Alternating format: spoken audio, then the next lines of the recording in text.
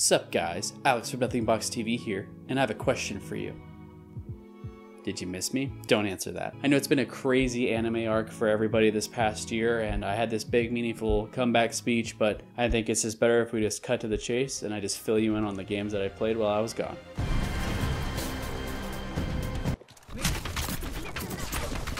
No. No. No. No. No. No. No.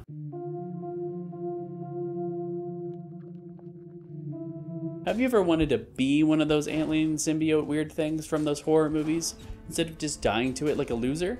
Well, now you can. Carrion is an incredible indie title where you end the lives of underpaid scientists who are all just a few days away from retirement. This Metroidvania is a short but sweet adventure with some of the most fun monster controls I've ever experienced. I ended up beating it in about 4 hours and I highly recommend it.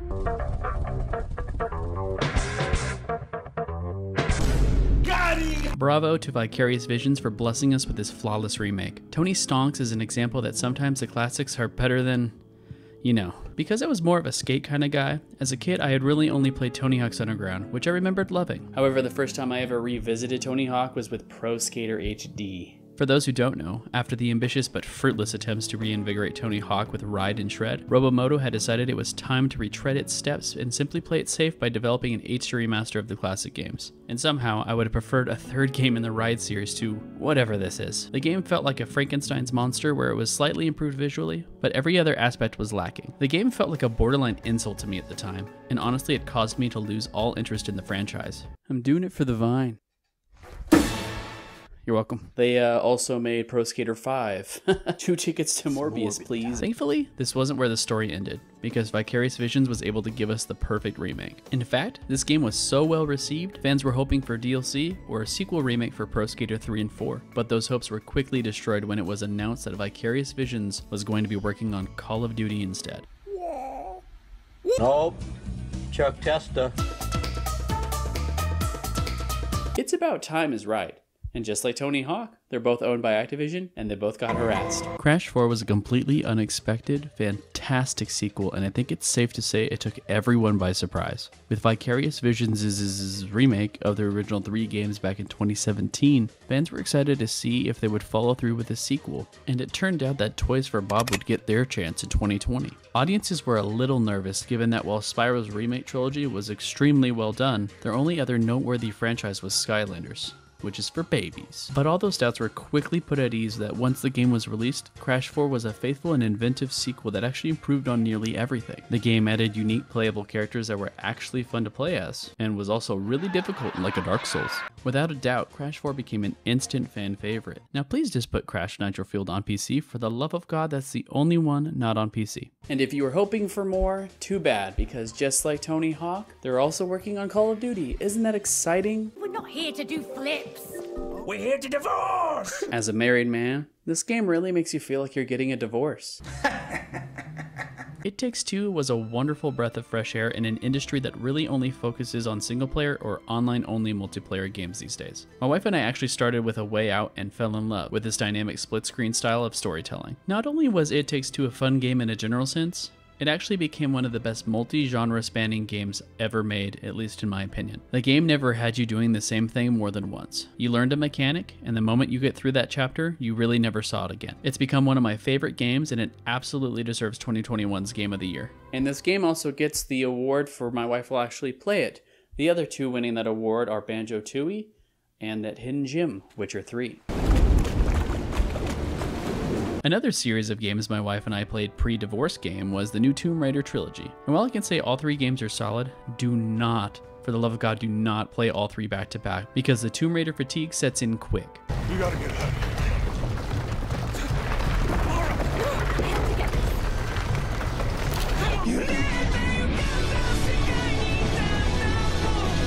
In fact, my wife actually probably enjoyed these games more than I did, because after we beat Tomb Raider, she was already wanting to start Rise of the Planet of the Tomb Raider. Overall, these games are pretty good adventure games with all the cliches of the genre. Just like Uncharted, both Drake and Croft killed a city's worth of people by the end, and the real treasure was the friends they made along the way. Our favorite of the three ended up being Shadow the Hedgehog of the Tomb Raider because we felt the game had a higher puzzle to massacre ratio than the other two. And obviously, being the last entry, it also felt the most refined. And I will say that they're not my favorite trilogy ever made, but I can say that they are worth playing, and I'm looking forward to Unreal Engine 5 of the Tomb Raider. Halo Reach first came out on PC with the Master Chief Collection like a year ago, right? 84 years. John Halo's return to PC was monumental. First, they put Master Chief in the soda, and then somehow, after all these years, it was like Dad finally came home from getting cigarettes. But aside from playing most Halo games at friends' houses, this was my first time truly playing through these games, and I can say the hype was real. Playing through Halo Reach and Combat Evolved with my father in law on Legendary was some of the most fun I've ever had in years. And then Halo 2 on Legendary made me want to uninstall my life. There's absolutely no debate that the Halo franchise is incredible, and the fact that I can finally now enjoy it on my PC makes it even better. And to be honest, this is one series that I'm actually terrified to cover in depth because of how important these games are to people. And I feel like I don't really have anything more to say that others have already said. But there are definitely things I could talk about with new Halo.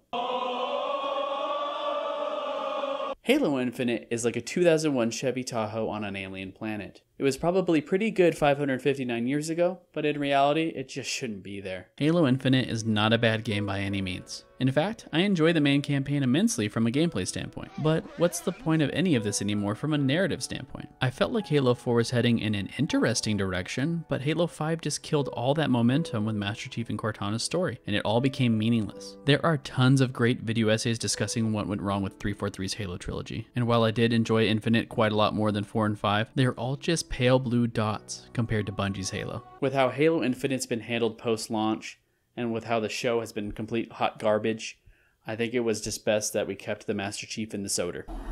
It's been 84 years. God of War and Horizon Zero Dawn are two Sony exclusives that made it over to PC that I didn't really play until they came to PC, and I'm extremely happy that they did. I have less to say about the actual games themselves because both games are excellent and they have already been spoken for for the most part. But I do have to thank and encourage Sony to continue porting more games over to PC because everybody wins when this happens. While it's true that I do find it extremely entertaining to see salty fanboys on any side of the console wars complain when an exclusive becomes available to more platforms, I think the age of the platform wars is coming to an end. And just play on whatever you like. So, with all this talk about exclusives coming to PC, you might be wondering who I think is winning the console wars. The answer is nobody. They all suck because consoles you can't buy them, PCs you can't build them, Nintendo has Joy-Con drift, and PS3 has no games. Death Stranding and Elden Ring were the yin and yang for me this year, and both were oddly very emotional for me because of how turbulent my work and home life was. I played Death Stranding during a busy season where I would work 60 hours a week on average, upwards of 75 hours a week. And as dumb as it sounds, it reminded me again of why I love video games so much. I had put off playing it because of all the criticism, and while I wish I had played it sooner, I couldn't have played it at a better time. Because of the intense job that I used to have, Death Stranding ended up being one of the most cathartic and relaxing games I had ever played in my life. And that is not a joke.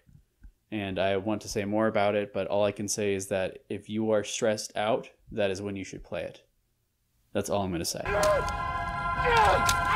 Elden Ring is also now one of my favorite games for being the polar opposite. I had never played a game that I love to hate so much. For those who have not watched my Sekiro difficulty video, I had stated that despite how difficult it was, I adored that the challenge was there and that I felt the challenge was meaningful. However, after making that video, I had a games journalist moment and I finished the game with an easy mod. My excuse being was that I didn't want to watch the ending on YouTube, I wanted to experience it myself. But to my surprise, after installing the easy mod, I had died less than 10 more times since the false corrupted monk boss fight. And what was even more mind blowing is that I didn't die a single time to Isshin the Glock Saint. I was skilled enough to beat it without the mod, but I didn't realize I could until I saw the credits. And don't get me wrong, beat any single player game however you want. I'm not that kind of get good person, but I knew that when it came to Elden Ring, I wanted to do two things not use an easy mod and see it to the end without uninstalling. And sure enough, I did see it to the end, not uninstall. Also a little fun fact, after I beat Elden Ring, I actually went back, reinstalled Sekiro, and actually beat it fair and square this time. So be proud of me, you know?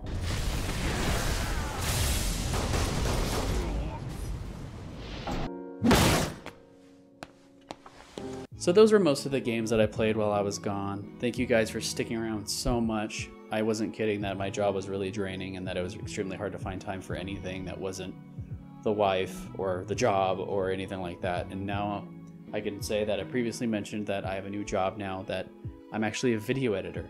So that thanks to you guys indirectly and, and directly, thank you so much because you guys indirectly helped me to get the job. And I'm just extremely grateful for that. And also everything in my life has just been so blessed and like I'm so thankful to God because there's so many things going on. I'm getting a little sappy because uh, in the span of when I wrote this and filming it, uh, I can't talk about it yet, but I have some extremely wonderful news for me and my family. They already know. I can't talk about it. I just wanted to give you that little Easter egg. I'm back for realsies, and I just thank you for sticking around if you made it here. Um, type in poggers if you if you made it all the way. Um, just thank you again so much, and um, I'll see you guys next time. Stay hashtag blessed.